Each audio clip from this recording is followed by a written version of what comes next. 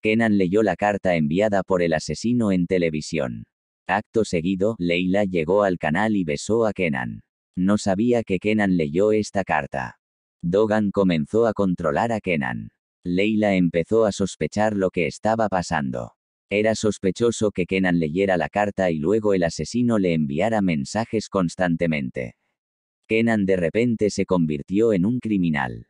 Kenan estaba al tanto de estos acontecimientos y de su enfermedad. Kenan fue inmediatamente a ver a su padre.